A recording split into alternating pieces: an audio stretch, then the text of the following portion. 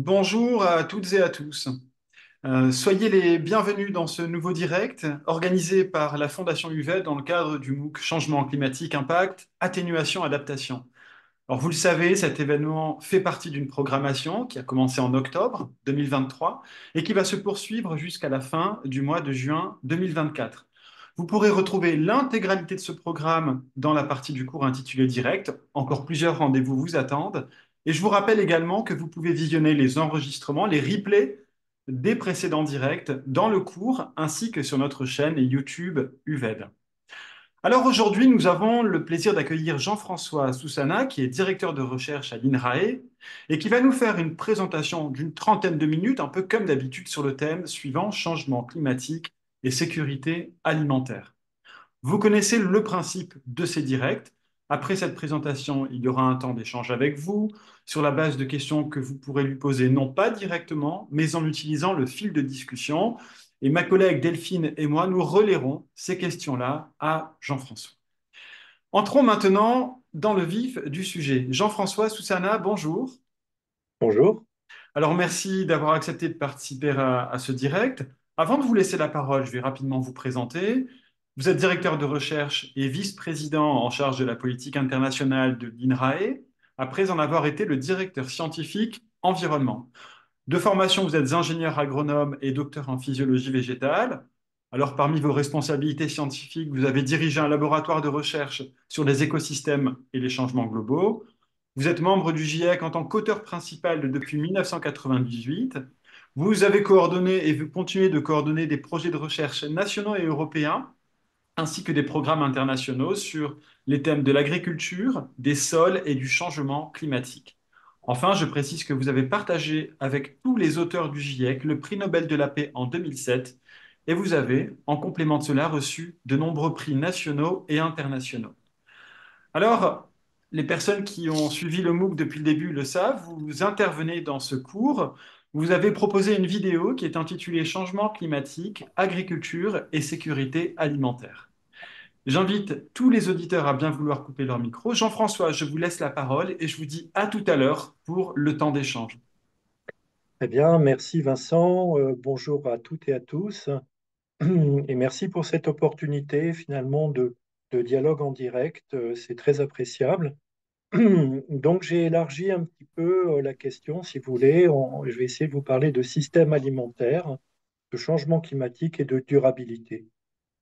Donc, euh, ce que l'on peut observer aujourd'hui, euh, c'est que nous sommes, ça a été décrit dans la littérature scientifique, avec un certain nombre de limites planétaires. Les limites planétaires, elles correspondent à l'espace qui est en vert ici, dans lequel le système Terre opère de manière stable et finalement de manière euh, à peu près euh, sûre pour l'humanité. Lorsque l'on dépasse ces limites, c'est le cas pour le changement climatique, avec l'augmentation du CO2, l'augmentation du forçage radiatif, on expose la planète Terre et ses habitants à des changements brutaux du climat. Mais finalement, euh, d'autres limites s'exercent également. Par exemple, le cycle de l'azote c'est un cycle qui euh, est perturbé. Et ce cycle, euh, il est ici en bas dans la figure. Euh, nous l'avons déjà largement excédé par des apports d'azote qui viennent de l'agriculture.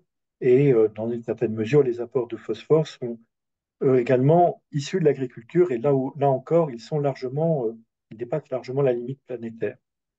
Donc, ce qui est frappant, sans pouvoir détailler tous les aspects de cette figure dans une intervention rapide, c'est que nous avons dépassé six de ces neuf limites planétaires. Et pourquoi est-ce que je voulais vous en parler aujourd'hui? C'est parce que lorsque l'on regarde les causes de la transgression de cinq de ces limites, ces causes sont liées en fait à notre alimentation, à notre système alimentaire.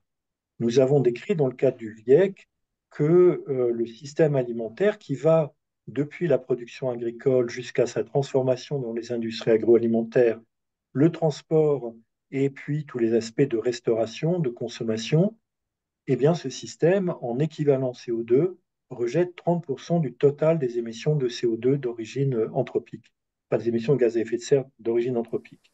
Donc c'est une contribution majeure. S'agissant de la biodiversité, eh bien, euh, nous avons des estimations par le Programme des Nations Unies sur l'environnement qui indiquent que euh, l'alimentation, l'agriculture serait la cause principale, majeure, via les changements d'habitat, euh, de la perte d'espèces, donc des espèces qui sont menacées d'extinction. les changements d'usage des sols, 80% de la déforestation vient en réalité d'activités agricoles. 70% des prélèvements d'eau douce sont liés à l'irrigation. 90% environ des excédents d'azote sont euh, en fait pour la fertilisation en agriculture. Et vous voyez que la sixième limite, on ne peut pas absolument la quantifier, c'est la question des entités nouvelles, c'est-à-dire par exemple tous les rejets qu'on fait de plastique, de matières qui n'existaient pas dans la biosphère avant euh, l'arrivée de l'homme et de ces technologies, eh bien, tous ces produits, on peut penser qu'il y en a une partie qui viennent tout de même euh, des activités euh, agricoles et industrielles qui les accompagnent. C'est le cas, par exemple, des pesticides. Donc, nous observons que euh, le système alimentaire mondial a des impacts tout à fait importants sur ses limites planétaires.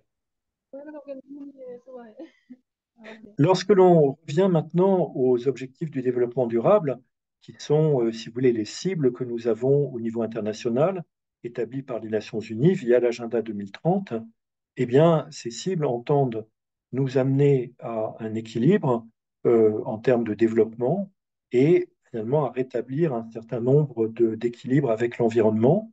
C'est le cas du socle de l'agenda 2030. Le socle concerne la biosphère, comme c'est indiqué sur la diapositive, avec en particulier euh, l'ODD 15 euh, qui concerne la vie sur Terre, donc la biodiversité, l'ODD 13 qui concerne l'action climatique, mais aussi on a l'ODD 6 sur l'eau ou l'ODD 14 sur la vie marine. Donc là encore, le système alimentaire a un rôle très important, je viens d'en parler, par rapport à cette biosphère et par rapport aux grands équilibres qu'il faut atteindre pour ces ODD.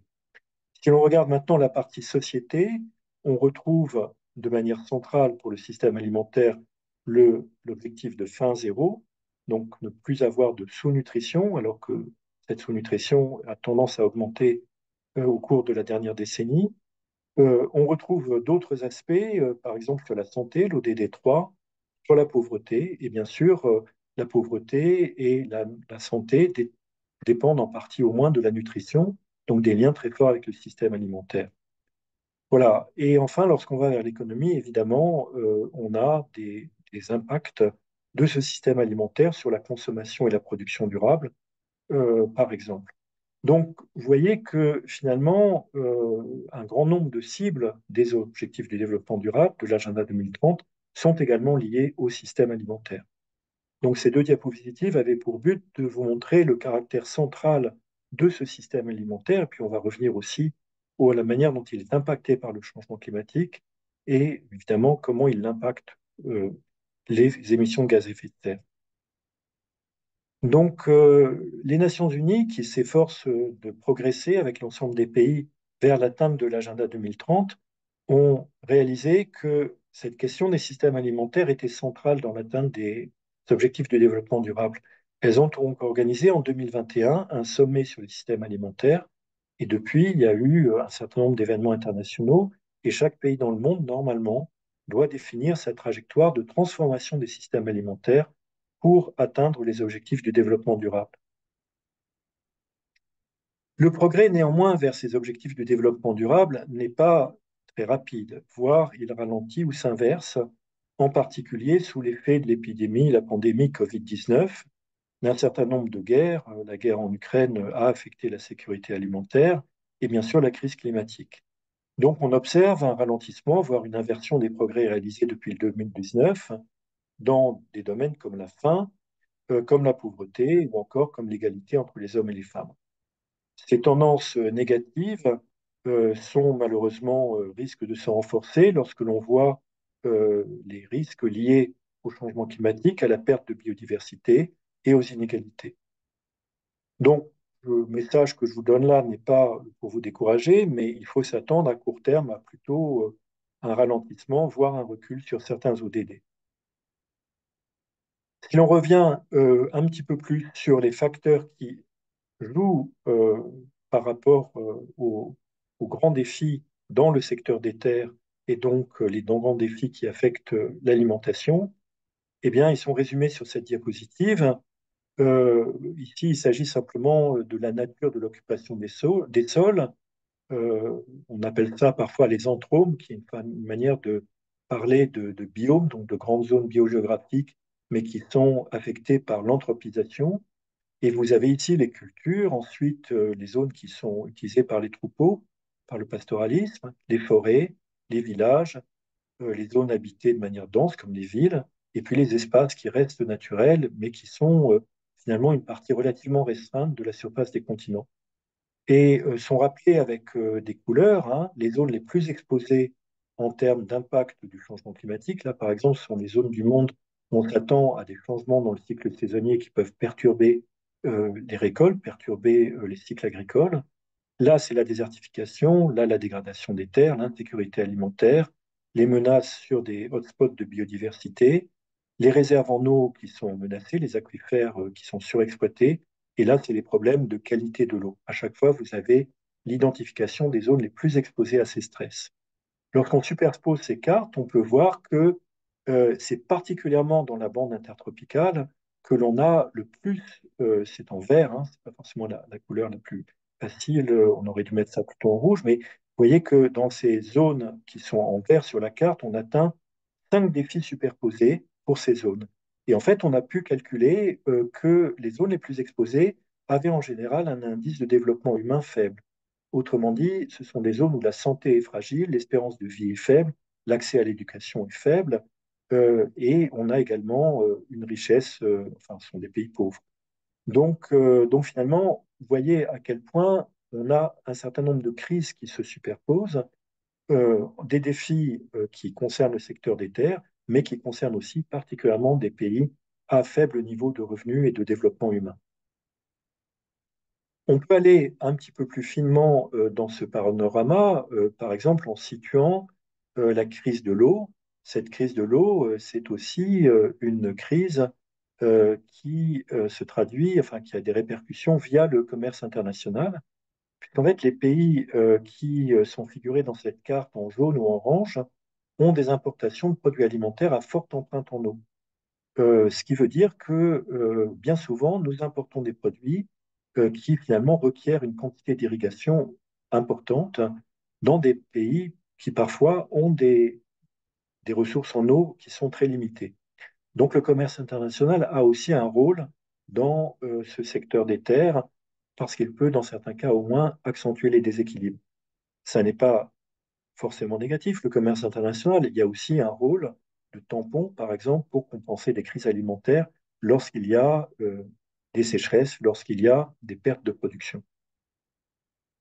Un autre point euh, que l'on peut euh, souligner ici, c'est un autre exemple, hein, si vous voulez, de ces problèmes dans notre système alimentaire, c'est le pourcentage des enfants de 5 ans en déficit de croissance. Et vous voyez à quel point c'est concentré en Afrique et euh, en Asie du Sud. Donc c'est vraiment là que se concentrent les, les problèmes les plus sévères en termes de sous-nutrition chronique et d'accès à l'alimentation.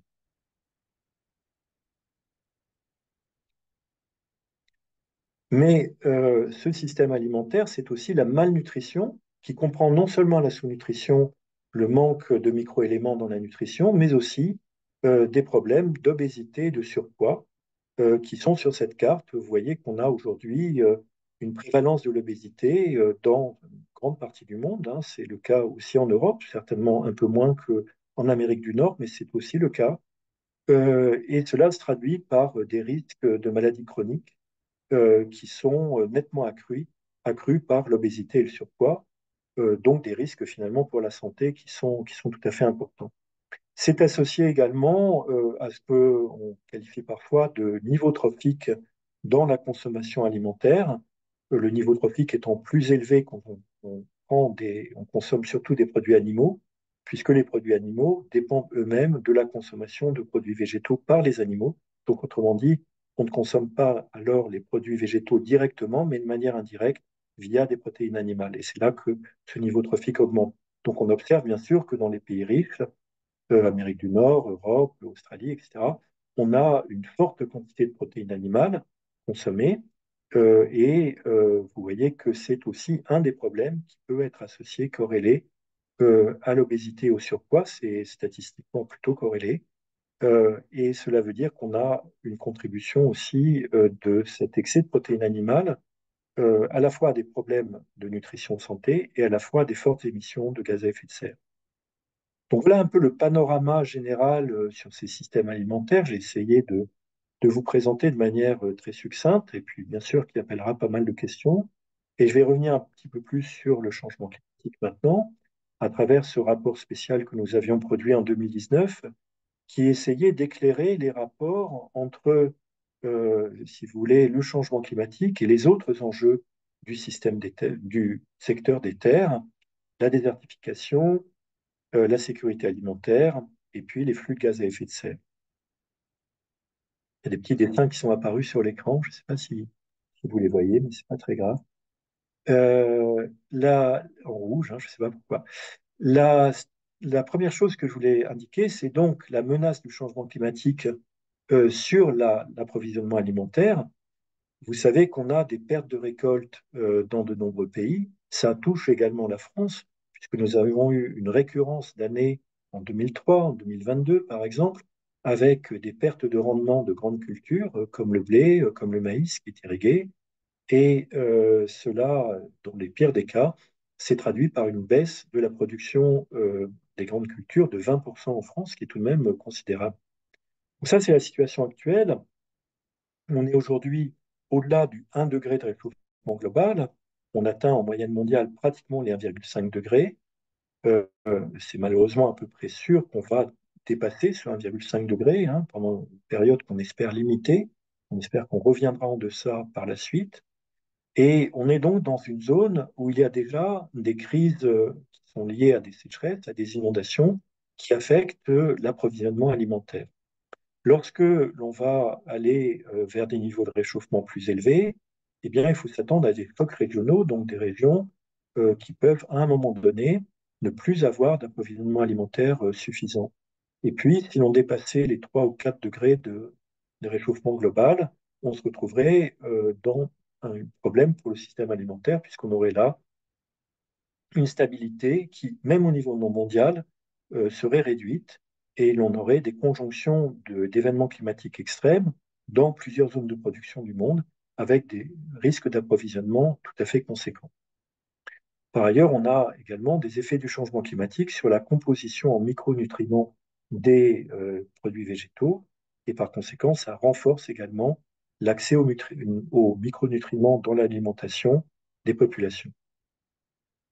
Par ailleurs, euh, les dernières estimations qu'on a pu avoir euh, par la modélisation sur les impacts du changement climatique sur les cultures indiquent des effets négatifs qui sont assez précoces sur un certain nombre de grandes cultures, notamment le maïs, vous voyez que dans la bande intertropicale, on a des effets négatifs euh, qui sont assez généralisés sur cette espèce, et euh, ceci euh, plus précocement finalement que ce qu'on avait vu dans des rapports précédents. C'est le cas dans une moindre mesure sur le blé, mais aussi c'est nettement moins marqué pour le soja et pour le riz. Cet impact du changement climatique, je l'ai commencé à l'aborder, se déroule dans un contexte de dégradation des terres et dans un contexte euh, de surexploitation des ressources en eau, des aquifères, ressources qui sont utilisées pour l'irrigation. Euh, ce qui fait que malheureusement, on a une conjonction de choses négatives, les effets directs du changement climatique, euh, sur un contexte où le sol est déjà fragilisé par la dégradation des terres, et fragilisé, l'irrigation est fragilisée par la déplétion des aquifères. On se rend compte que euh, les zones qui sont déjà soumises à une aridification vont sans doute devenir de manière croissante arides, et c'est une préoccupation puisqu'il y a tout de même plusieurs milliards d'habitants dans ces zones, et ils seront particulièrement menacés. On peut même arriver à une situation où finalement on ne pourrait plus du tout exploiter un certain nombre de terres de culture ou de prairies de parcours euh, du fait d'un changement climatique extrême c'est euh, le cas de, ça pourrait concerner environ 10% des cultures et des parcours, euh, particulièrement en Afrique et au Moyen-Orient. Les dernières données qu'on a pu avoir euh, indiquent qu'on a ce phénomène, si vous voulez, euh, qui est euh, plutôt dans le sens d'une aridification, puisque lorsque l'on observe l'augmentation de, la température, il faut que je déplace un petit peu la barre qui me gêne sur l'écran. Lorsque l'on a une augmentation de la température, on peut avoir, euh, si vous voulez, on a directement un effet sur l'évapotranspiration. La demande en évapotranspiration augmente avec la température. Mais d'un autre côté, pour les plantes, il y a simultanément une augmentation du CO2 atmosphérique. Et pendant un certain temps, euh, on a pu observer que l'efficience d'utilisation de l'eau par la végétation, d'après un ensemble de données avec des tours à flux, par exemple, cette efficience augmentait. Donc, malgré l'augmentation de la température, l'augmentation du CO2 permettait aux plantes d'utiliser l'eau plus efficacement. Mais malheureusement, on observe ces dernières années une saturation, ce qui veut dire que l'efficience d'utilisation de l'eau n'augmente plus. Et à ce moment-là, euh, on s'attend à ce qu'il y ait euh, une évapotranspiration qui devient euh, contrainte hein, par l'accès à l'eau, ce qui veut dire que le déficit de saturation de l'air la sécheresse de l'air augmenterait. Ça a comme implication euh, une saturation, voire un déclin de la productivité primaire. Et par conséquent, euh, si ce déclin touche aussi les espèces cultivées, cela peut affecter euh, les rendements.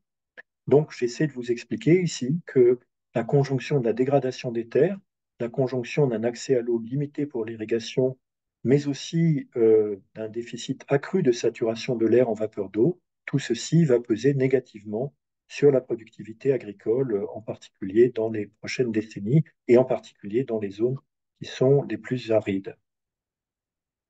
Pardon. Euh, nous avons en effet euh, des préoccupations euh, sur cette baisse rapide du niveau des nappes phréatiques dans les aquifères au niveau mondial. Cette baisse, elle atteint plus de 50 cm par an elle a été détectée tout particulièrement dans les régions qui sont déjà des régions sèches, où il y a beaucoup de cultures.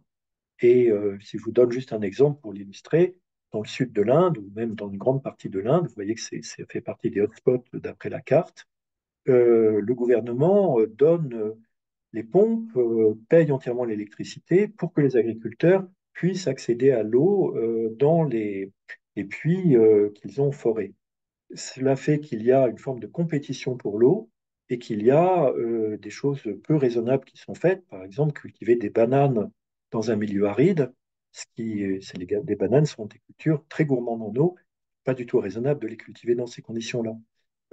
Donc, si vous voulez, cet enchaînement de mécanismes socio-économiques fait qu'on surexploite les nappes et qu'on est en train de gaspiller une ressource extrêmement précieuse pour l'avenir, vu que la contrainte hydrique, sous l'effet du changement climatique, va augmenter. Par ailleurs, en écologie, on décrit euh, comment les écosystèmes sont en train de s'écrouler, si vous, voulez, si je prends une image, euh, sous l'effet de l'aridification.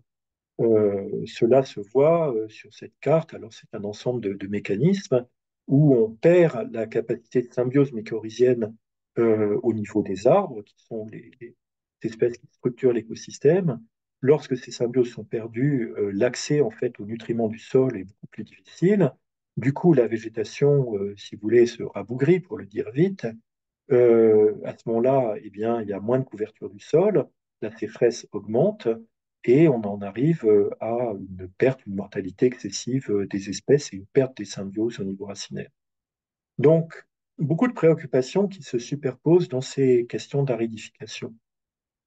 Alors, vous allez me dire que je suis très pessimiste, que je suis vraiment un peu désespérant dans mes propos, euh, je vais essayer de l'être moins, bien sûr, euh, pour vous parler des options d'adaptation et d'atténuation.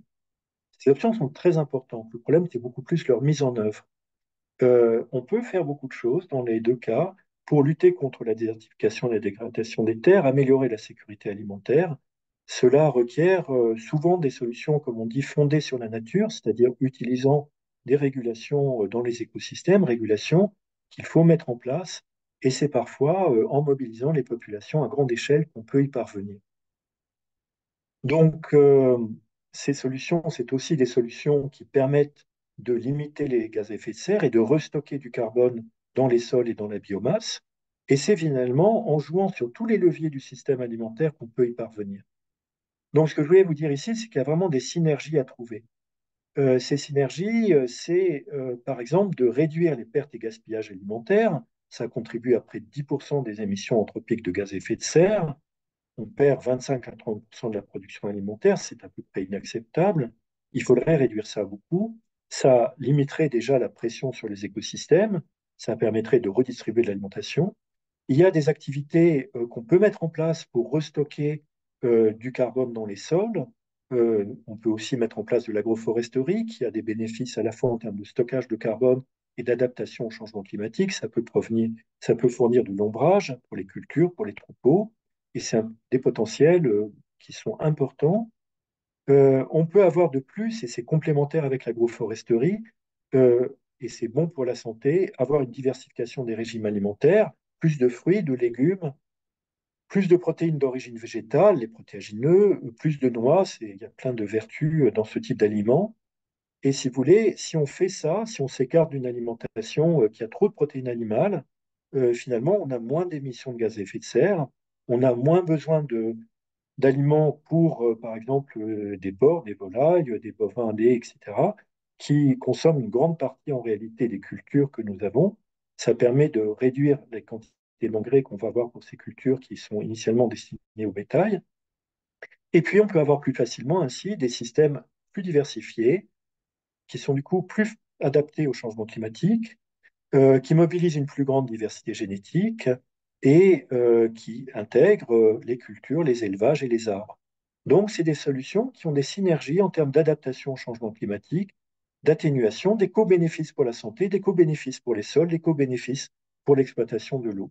Donc ces transitions alimentaires, c'était ma motivation aujourd'hui pour vous parler des systèmes alimentaires, ces transitions alimentaires pourraient libérer des millions de kilomètres carrés de terre, apporter l'adaptation et l'atténuation dont nous avons besoin. C'est ce que nous avons étudié dans ce rapport hein, du GIEC, euh, vous voyez que dans les colonnes, vous avez euh, les grands enjeux, l'atténuation, l'adaptation, la dégradation des terres, la sécurité alimentaire, la biodiversité, les pressions sur les aquifères, la qualité de l'eau. Et nous concluons que euh, nous pouvons mobiliser des, des options en agriculture, en forêt, sur les sols, sur d'autres écosystèmes, et que finalement, on a des tas d'options, par exemple l'augmentation du carbone du sol, qui ont des effets vertueux sur l'ensemble des dimensions pratiquement de ce système. Donc, c'est vraiment le message positif. Si vous voulez, d'un point de vue pratiquement technique, nous connaissons les solutions, et du point de vue des exemples, nous connaissons des pays ou des situations dans lesquelles ces solutions ont été déployées à grande échelle. Il est vrai, avec des efforts des populations considérables, puisque c'est souvent dans des programmes où on a mobilisé euh, des villages entiers pour faire de la restauration des terres, pour faire de la régénération des forêts. Et évidemment, cela suppose que les populations soient associées aux bénéfices et que les populations soient impliquées dans la conception des actions pour qu'elles en soient vraiment les parties prenantes. Tout ceci n'est pas, euh, si vous voulez, hors de portée. Là, vous avez euh, une indication sur le nombre d'exploitations agricoles dans le monde qui sont passées à une transition euh, agroécologique.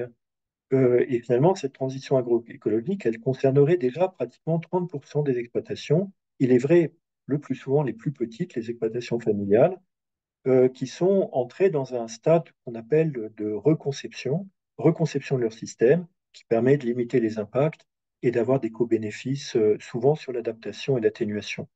Alors, c'est ce qu'on appelle l'agriculture de conservation, par exemple. C'est aussi euh, les arbres dont je viens de parler, une meilleure gestion de l'eau, euh, avoir une amélioration de la biodiversité et d'intégrer cette biodiversité dans les systèmes de culture ou d'élevage. Donc, en, matière d'adaptation au changement climatique, euh, on sait déjà beaucoup de choses. Il y a ce qu'on appelle l'agriculture de précision. Ça, c'est plutôt euh, lorsqu'on a des technologies qu'on peut mobiliser. Donc, bien sûr, il y a un rôle de l'amélioration des plantes, de l'amélioration euh, des animaux, donc la sélection hein, génétique par des méthodes qui n'impliquent pas nécessairement des changements d'édition des génomes, qui peuvent être des méthodes qui utilisent la connaissance des génomes. On a l'augmentation euh, de l'utilisation de l'eau, enfin l'efficience d'utilisation de l'eau, dans ces aspects euh, également de sélection, mais aussi d'agronomie. On peut faire beaucoup avec le suivi des cultures et, euh, si vous voulez, des, des systèmes d'alerte précoce. Donc, par exemple, euh, on va avoir en 2026 le lancement pour la première fois d'un satellite qui va permettre de détecter à l'échelle des parcelles les sécheresses agricoles. Euh, c'est le satellite Trishna qui a été euh, conçu entre l'Inde et la France. Et c'est tout de même un changement majeur. On va pouvoir accompagner les agriculteurs dans la détection précise des stades de sécheresse. Et donc, on va avoir des systèmes d'alerte précoce et on va pouvoir, si vous voulez, comparer les systèmes qui sont les plus adaptés à ces émergences de sécheresse. On peut jouer beaucoup, c'est tout l'esprit de l'agroécologie, sur la santé des sols, sur la conservation de l'eau. Et euh, vous avez des méthodes euh, qu'on déploie en France aussi hein, sur euh, la gestion intégrée de l'eau dans des bassins versants. Vous avez des méthodes, je vous le dis, d'agriculture de conservation où en fait on régénère les sols. Et puis l'intégration euh, des systèmes de culture, d'élevage, le rôle des arbres, tout ça, c'est déjà dans l'esprit de l'agroécologie. Et puis, vous avez des systèmes de transformation euh, où vous allez vraiment réformer à la fois les exploitations agricoles et les systèmes alimentaires pour aller vers quelque chose d'assez différent qui peut préfigurer ce qu'on aurait, je dirais, dans la seconde moitié de ce siècle, dans lequel on aurait réussi la transition alimentaire avec l'éco-bénéfice pour la santé, pour le climat, pour les ressources naturelles. Et c'est vraiment ce qu'il faudrait euh, arriver à faire euh, au niveau international. Donc, pour conclure, une étude que, sur laquelle je travaille, qui n'est pas encore publiée, mais euh, où nous avons essayé de montrer comment on pouvait atteindre l'ensemble des objectifs du développement durable en combinant ces différentes mesures. Et cette figure euh, entend résumer euh, par le ruban que vous avez là, dans deux scénarios, l'écart aux cibles qui sont celles de l'agenda 2030 pour huit objectifs du développement durable et finalement, lorsque l'on regarde comment on a les impacts du changement climatique, de la dégradation des terres, etc., on, s'écarte de ces cibles. Et puis dans la partie qui descend à droite, on met en place euh, des, facteurs euh, d'efficience, par exemple sur les troupeaux, des facteurs euh, également d'alimentation, et puis de réduction des gaz à effet de serre, de bioénergie et des facteurs de stockage de carbone dans les sols. On limite la déforestation, on régénère les forêts, on limite les déchets alimentaires et on change les régimes alimentaires. Et à ce moment-là, on voit qu'il est possible d'atteindre l'ensemble des cibles du développement durable au niveau mondial. Donc, euh, évidemment, le grand problème, c'est l'ampleur des transitions à faire en très peu de temps parce que nous les avons trop retardées. Et ce que j'espère, c'est que votre génération euh, sera celle qui sera capable de réaliser ces transformations dont on peut dire qu'elles sont encore faisables, mais qu'elles sont réellement urgentes. Voilà, donc euh, en conclusion, euh, je, dirais que il faut combiner l'ensemble de ces transformations, travailler à la fois sur la partie des systèmes euh, forêts, zones humides, etc., pour les restaurer, les conserver, augmenter le stock de carbone, améliorer la gestion de l'eau. Il faut aussi augmenter, bien sûr, les rendements des cultures dans les pays pauvres, hein, parce qu'ils sont insuffisants. Il faut réduire les gaz à effet de serre en agriculture, améliorer la conversion par les animaux de l'alimentation et la santé des animaux, réduire les pertes et gaspillages alimentaires et passer à ces régimes alimentaires durables. Voilà, donc tout est nécessaire. Il faudra intégrer euh, les politiques agricoles, climatiques, environnementales et de santé à large échelle. Merci. Merci beaucoup, Jean-François, pour euh, cette présentation. Désolé pour les deux petits traits rouges. Euh, c'est quelque chose, une fois que c'est en place, je crois qu'on n'a plus vraiment la main pour les, pour les effacer. J'espère que ça ne vous a pas trop dérangé. En tout cas, merci pour votre présentation, euh, très claire, extrêmement riche, mais aussi une présentation qui a été très bien illustrée par de très nombreux graphiques et qui permet aussi de, de mettre à jour un peu l'état des connaissances. C'est toujours l'objectif aussi de ces directs, de montrer l'état des connaissances scientifiques par rapport à toutes ces questions. Euh, plusieurs questions vous, sont posées. Euh, je, ne peux résister à, l'envie de vous poser la question suivante. Alors, dans le MOOC, il avait été question dans votre intitulé de, de- sécurité euh, alimentaire. Actuellement, à quelques, à quelques semaines, peut-être même quelques jours des élections européennes, il est souvent question de souveraineté alimentaire. Parfois, on entend parler d'autonomie alimentaire. Est-ce que vous pourriez clarifier un petit peu l'ensemble de ces termes et de voir un peu ce qui les regroupe et ce qui les distingue, s'il vous plaît?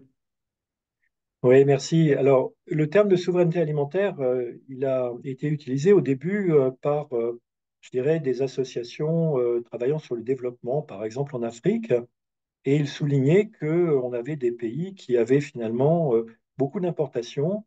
Ils n'avaient pas vraiment de souveraineté de leur système alimentaire parce qu'ils dépendaient beaucoup des importations.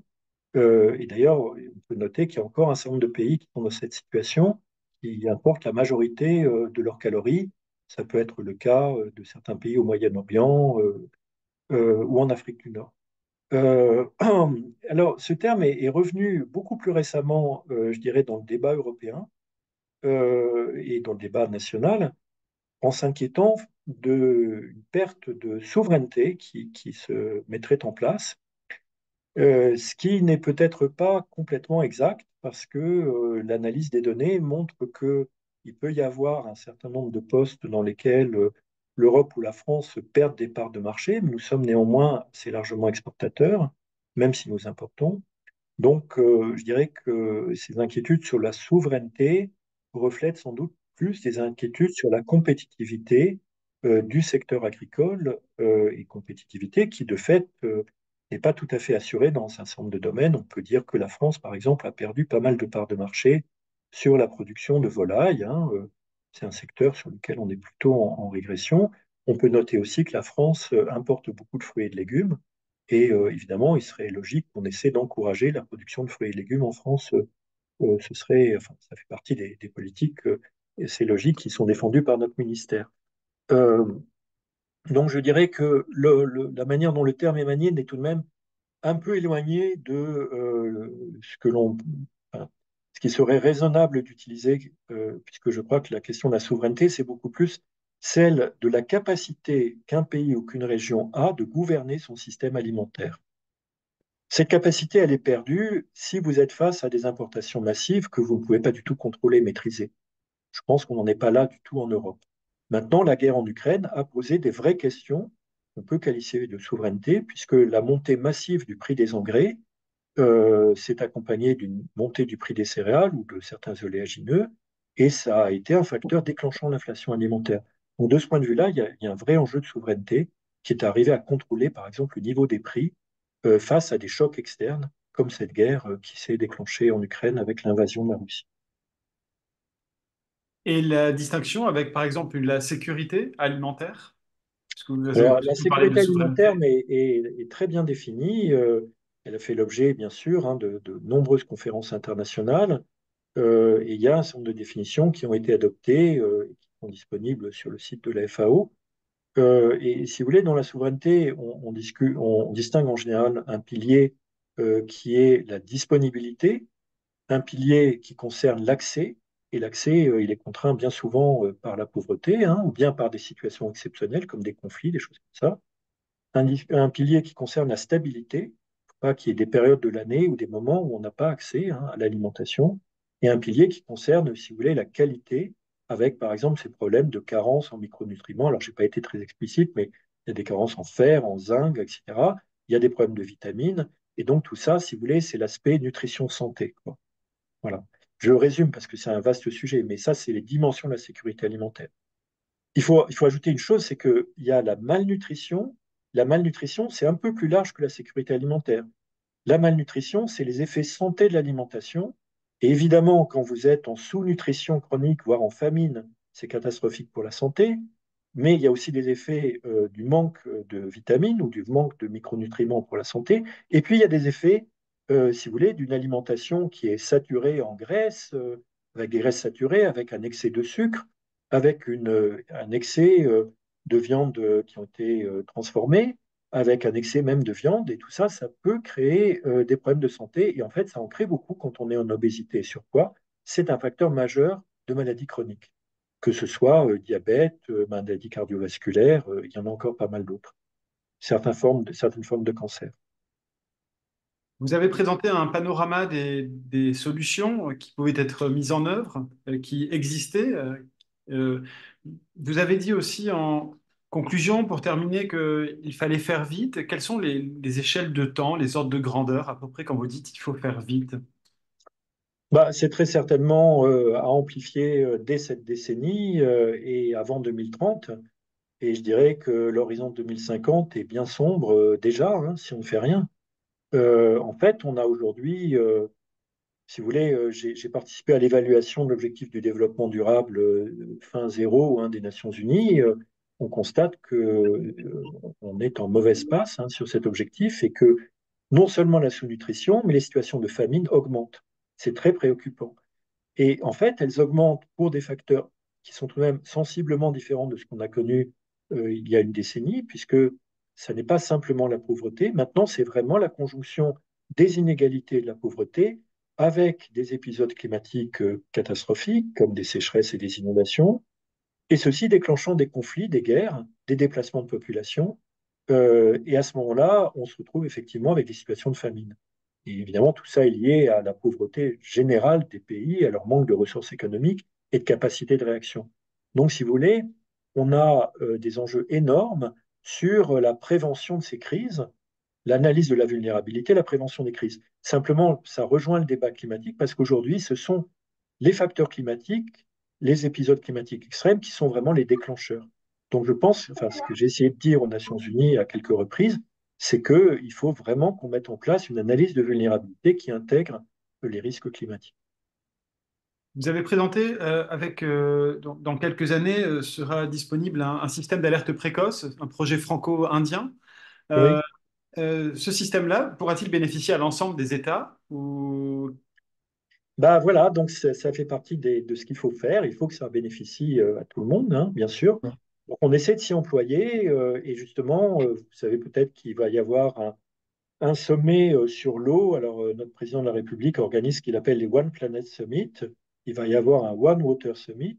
Et euh, précisément, euh, je peux, indiquer que les instituts de recherche français se mobilisent euh, pour qu'on on propose un certain nombre de pistes, dont celle-ci, particulièrement sur les usages de la télédétection, pour que ça devienne des systèmes tout à fait opérationnels, transparents et accessibles. Vous avez parlé de, l'eau, et ce système en fait partie. Euh, bien sûr, une question qui a été euh, mentionnée dans le, dans le chat est celui des méga-bassines dont on parle beaucoup. Euh, quel regard portez-vous sur ces projets? Ah, Simplement, c'est signe des tensions qui sont en train de, s'accroître. À partir du moment où vous avez de moins en moins d'eau disponible, et c'est le cas, hein, puisque en France, en réalité, l'eau disponible a été réduite cette dernière, décennie du fait de l'impact du changement climatique, et ça, ça va s'accentuer très probablement, eh bien, il est logique que, euh, des mouvements agricoles se, forment pour essayer, je dirais, d'utiliser le plus possible cette ressource qui leur manque. Ça, c'est légitime. Euh, après, ça crée un certain nombre de tensions, euh, et si vous voulez, il faut évidemment qu'il y ait des concertations, des régulations avec les pouvoirs publics pour qu'on n'ait pas des phénomènes de maladaptation c'est-à-dire création euh, d'un usage de la ressource à court terme en changeant peu de choses dans les systèmes agricoles et en ayant du coup, euh, si vous voulez, la volonté de prolonger quelque chose qui de toute manière ne tiendra pas avec l'ampleur du changement climatique. Donc le message, il serait comment peut-on avoir une irrigation sobre et résiliente grâce à des systèmes agricoles qui se transforment graduellement. Alors au rythme, c'est possible, évidemment, on ne peut pas tout demander aux agriculteurs, mais il faut qu'ils soient conscients de la nécessaire transformation. Et en même temps, il faut que la société comprenne les crises agricoles qui résultent du changement climatique. Et donc, c'est ce grand effort de, concertation qui sera nécessaire pour éviter une maladaptation et avoir une transformation des systèmes. Vous avez parlé dans votre présentation tout à l'heure des, engrais, vous venez de parler de l'eau. Parlons un peu des, semences, puisqu'une question a été posée en ce sens. Qu'y a-t-il pour préserver les semences? Et que pensez-vous de la production de nouvelles semences? On pense avec les nouvelles techniques euh, génomiques. Bah, avant tout, il faut se dire qu'on est un petit peu euh, avec les semences, euh, comme d'ailleurs avec les, races animales. Hein. c'est un peu notre arche de Noé, hein, si je le dis comme ça. C'est-à-dire que pour, l'adaptation au changement climatique en matière d'agriculture et d'élevage, on dépend complètement de la conservation des ressources génétiques.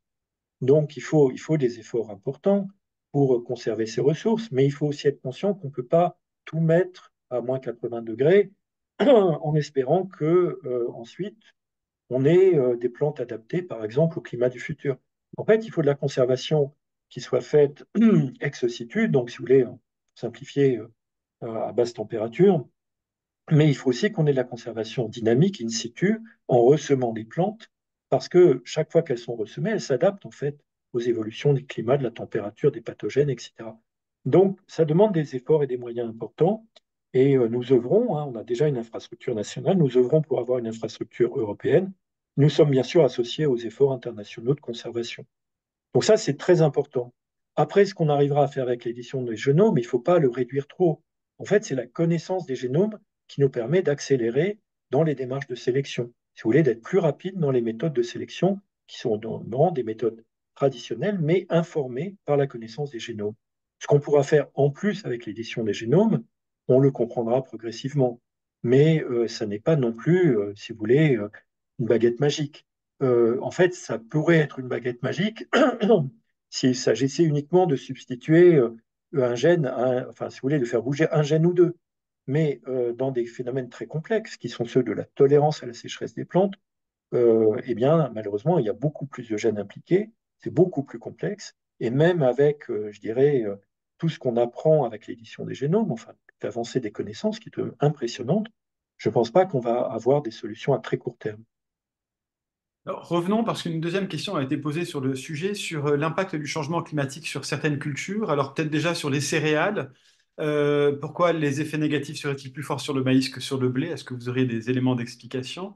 Et une autre, une autre question porte sur la qualité nutritionnelle. Vous en parliez déjà dans votre vidéo de MOOC en disant que le changement climatique affectait la qualité nutritionnelle des aliments, mais cette baisse de la qualité nutritionnelle est-elle aussi liée à l'évolution des modes de culture? Voici les deux questions qui vous sont posées. Oui, merci. Alors, évidemment, euh, le maïs par rapport au blé, euh, c'est euh, assez direct. La réponse, c'est que, si vous voulez, le maïs, c'est une culture d'été.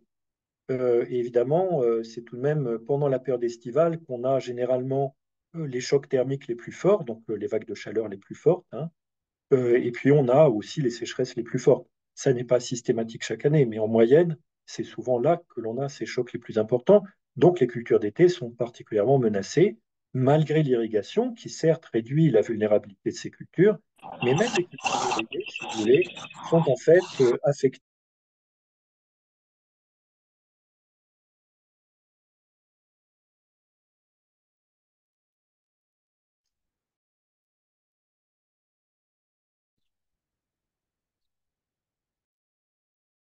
Ah, Excusez-moi, Jean-François, j'ai euh, coupé votre micro parce qu'il y avait un autre micro que je souhaitais couper et j'ai raté ma manip. Est-ce que si vous m'entendez, vous pourriez réactiver, s'il vous plaît, votre micro? Oui, oui, bien sûr, j'ai réactivé. Merci, je vous prie de m'excuser, hein, pas mauvaise manip de ma part. je- je répète la- le commentaire, Merci, merci euh, la réponse.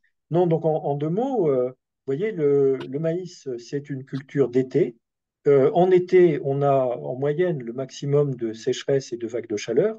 Donc évidemment, c'est une culture plus vulnérable que le blé, qui est une culture de printemps. Euh, et au printemps, on peut avoir des vagues de chaleur, on peut avoir des sécheresses, mais encore une fois, en moyenne, on en a plutôt moins. Donc, euh, ça explique la différence de vulnérabilité, même si le maïs est plus fréquemment irrigué que le blé, euh, mais l'irrigation n'est pas une solution parfaite. On a tout de même une incidence des sécheresses, de la sécheresse de l'air, par exemple, sur les plantes qui sont irriguées.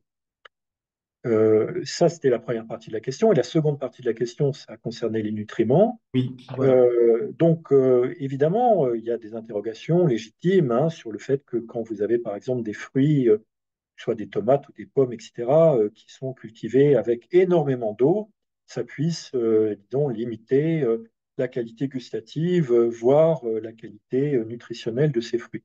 C'est une interrogation qu'on connaît depuis très longtemps.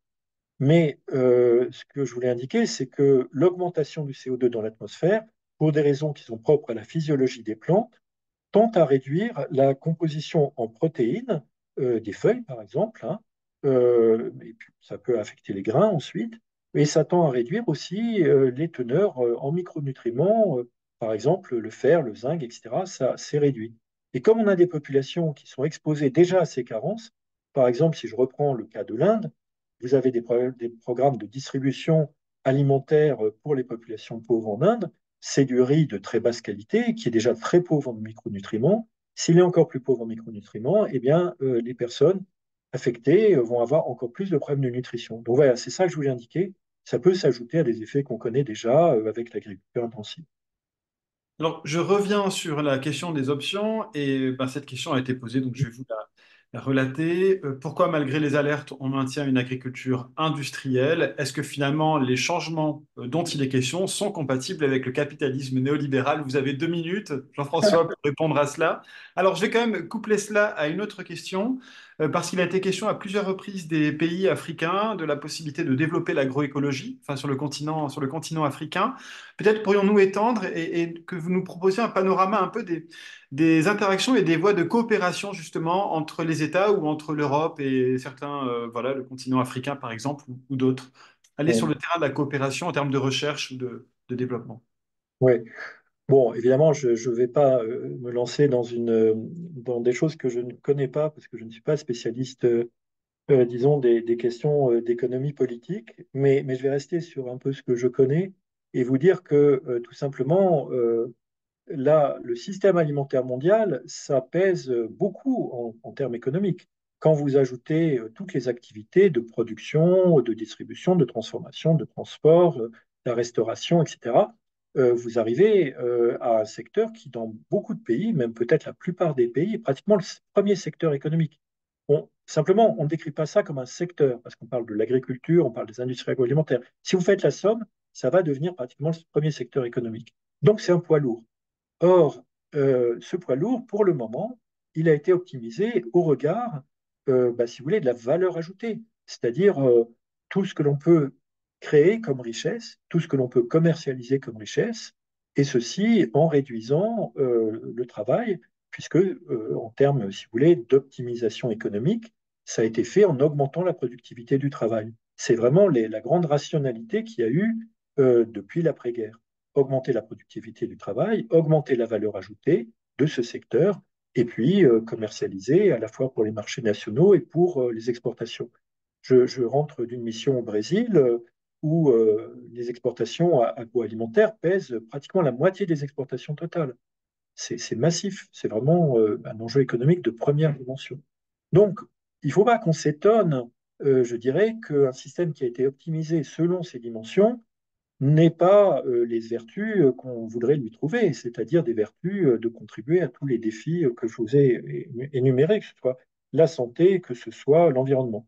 D'ailleurs, il y a eu un rapport je vous invite à consulter, euh, le rapport SOFI, euh, SOFI euh, de la FAO et d'autres agences des Nations Unies hein, sur les, problèmes d'alimentation, d'insécurité alimentaire, etc., qui montre le coût caché de l'alimentation. Eh bien, ce coût caché, c'est-à-dire tout ce qu'on ne mesure pas économiquement, ça représente 10% du PIB mondial. Donc, les effets négatifs sur la santé, sur l'environnement de notre alimentation au niveau mondial, hein, c'est pratiquement 10% du PIB. Ça n'est pas intégré euh, dans euh, les, estimations économiques. Euh, donc, donc, évidemment, encore une fois, ce système, il est optimisé économiquement, il n'est absolument pas optimisé, et en fait, il, induit des, effets négatifs pour la santé publique qui sont, pèsent sur les États et des effets publics, par exemple des effets sur l'environnement, qui pèsent également sur la comptabilité des États. Donc on a des formes de transfert de richesse via ces externalités. Alors, euh, le gros problème, c'est que nous n'avons pas aujourd'hui les bons outils pour rééquilibrer. Euh, disons que les seuls outils dont on peut disposer, c'est des outils soit euh, qui reposent sur la définition de cibles de politique publique par les États. Donc, par exemple, nous avons en France un secrétaire général à la planification écologique. En matière de changement climatique, nous avons une stratégie nationale bas.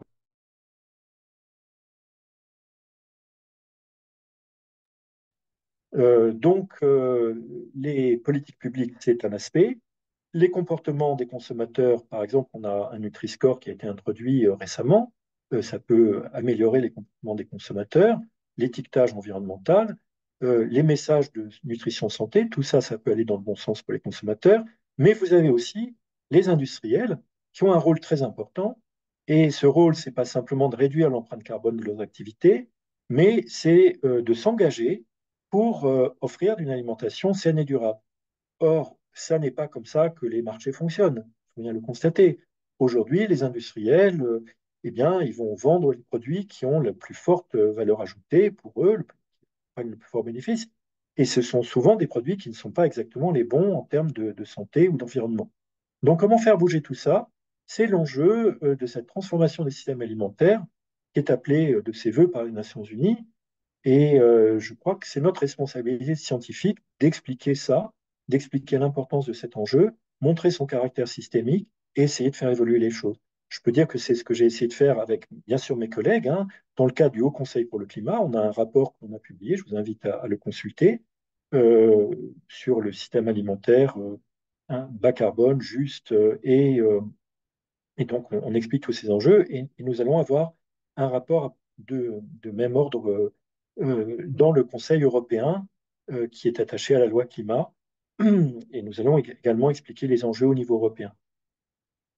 Alors, merci beaucoup. Le, temps passe. Euh, juste pour préciser que demain, lors de la mise en ligne de cette vidéo, bien sûr, nous associerons les ressources et les rapports que vous venez de, citer.